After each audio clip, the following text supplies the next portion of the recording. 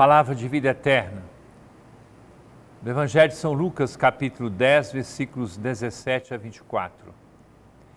Naquele tempo, os setenta e dois voltaram muito contentes, dizendo: Senhor, até os demônios nos obedeceram por causa do teu nome. Jesus respondeu: Eu vi Satanás cair do céu como um relâmpago. Eu vos dei o poder de pisar em cima de cobras e escorpiões e sobre toda a força do inimigo e nada vos poderá fazer mal. Contudo, não vos alegreis porque os Espíritos vos obedecem.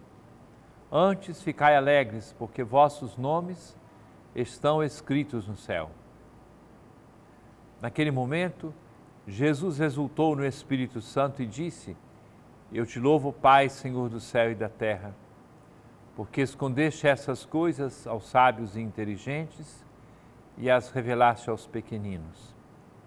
Sim, Pai, porque assim foi do teu agrado. Tudo me foi entregue pelo meu Pai.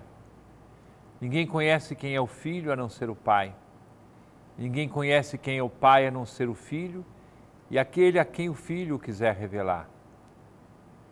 Jesus voltou-se para os discípulos e disse-lhes em particular: Felizes os olhos que veem o que vós vedes, pois eu vos digo que muitos profetas e reis Quiseram ver o que estáis vendo e não puderam ver. Quiseram ouvir o que estáis ouvindo e não puderam ouvir. Caríssimo irmão, caríssima irmã, Jesus faz uma estrada, um caminho de educação e de formação aos seus discípulos. Dois aspectos podem ser colocados em relevo neste sábado. Primeiro, dar valor àquilo que efetivamente tem importância aos olhos de Deus. Não tanto fazer coisas extraordinárias, miraculosas, assustadoras, mas fazer aquilo que é o mais importante: ouvir a palavra de Deus, colocá-la em prática e deixar que Deus realize a sua vida e a sua presença na existência de cada um de nós. Isso é o mais importante.